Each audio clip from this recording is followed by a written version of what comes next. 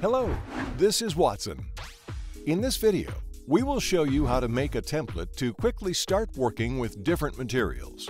Also, we will explain the correlation between the speed of the laser beam and the power of the laser tube when engraving on a CO2 laser machine. Let us get started. To begin with, if this is one of the first starts of the machine, you need to determine the correct focal length. Place a small sheet of plywood or other material you are going to work with at an angle to the surface of the table as in our example. Make sure that the nozzle does not touch it as it moves from the lowest to the highest part of the workpiece. On the controller, select a low travel speed and medium emission power, not to burn through the workpiece.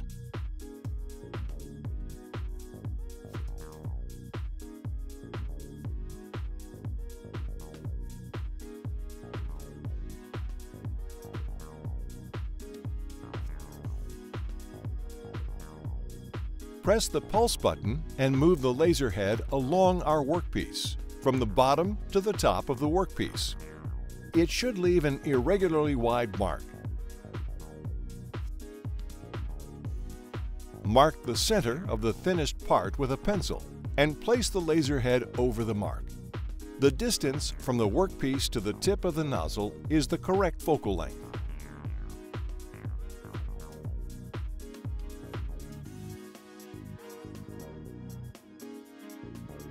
Let us move on to making a table for engraving. We make the layout in CorelDRAW. Our engineers recommend that a similar parameter table is made and amended each time a laser tube is changed or a new piece of equipment is commissioned for the first time. The template can be modified to suit your requirements. For this video, we will use the Wattsan 6090 LT machine with a 100 watt Reci laser tube. Check our website for a complete list of our machines and accessories. Our specialists will help you with the best choice for your tasks. Then export the layout to RDWorks. Mark the text and set the medium engraving parameters in order to mark out and then cut our workpiece.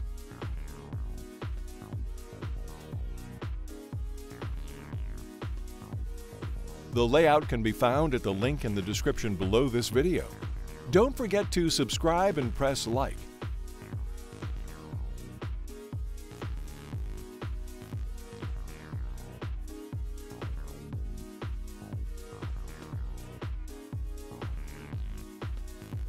Once we have the workpiece ready, without moving it, fix it to the honeycomb table with sticky tape. Back to the settings in the control software, starting with the top row of our squares. Select the figures in turn and assign them a color. Then, for each color, set its parameters, disabling the cutting and engraving colors of the text and the contour of the workpiece.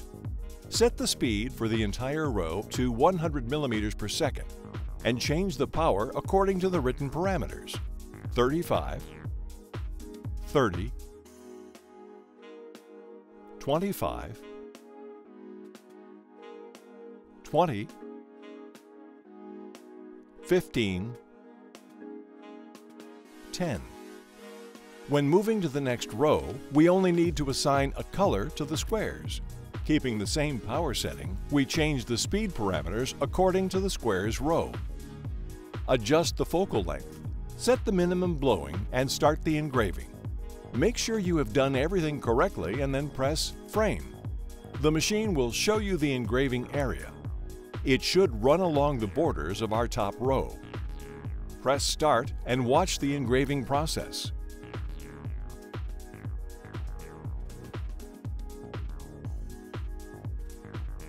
You can notice some fouling when engraving at a power of 35% and a speed of 100 millimeters per second. Don't worry, this can be cleaned easily with sanding paper. Perhaps for your projects, this kind of deep and dark engraving will be applicable. Wait until the machine has finished engraving. Do not forget the safety precautions. Watch the work process and make sure there is no ignition and the smoke is properly extracted from the working zone.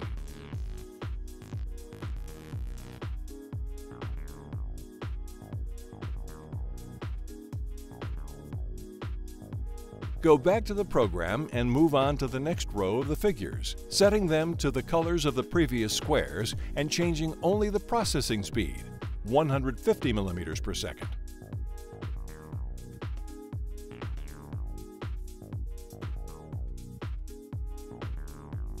Change the color of the entire upper row of squares to a color that will not be processed, which in this example is black or green. Press Download, check the processing edges, and start the engraving process. Do the same with subsequent rows, changing only the processing speed.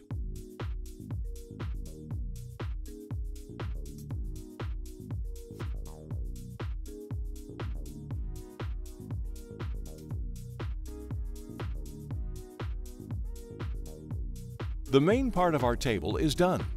The template is already suitable for a quick start, especially when working with the most common materials. However, that is not all. The last thing to do is to set interval, millimeters. To do this, go back to the control program. There are four rectangles on the right side. Assign them different colors and go to Settings. Select the desired speed and power from the already engraved table and assign these values to all the rectangles.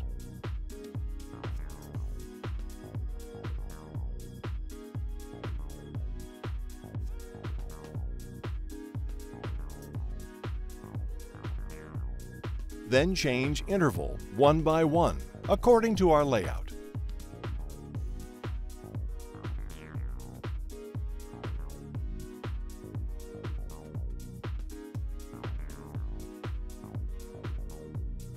Start the machine and watch the process.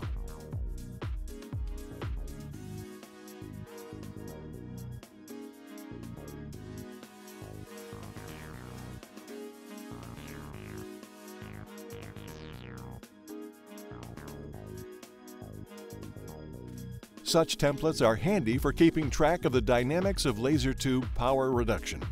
Thus, similar tables can be engraved on the different materials you use frequently and you can always find the best or required mode for the job.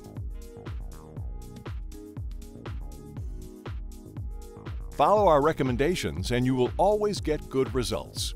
If you have any questions, post them in the comments, and we will be happy to answer them. Subscribe to our channel and do not forget to give our engineers likes. This is Wattsan. See you in the next video.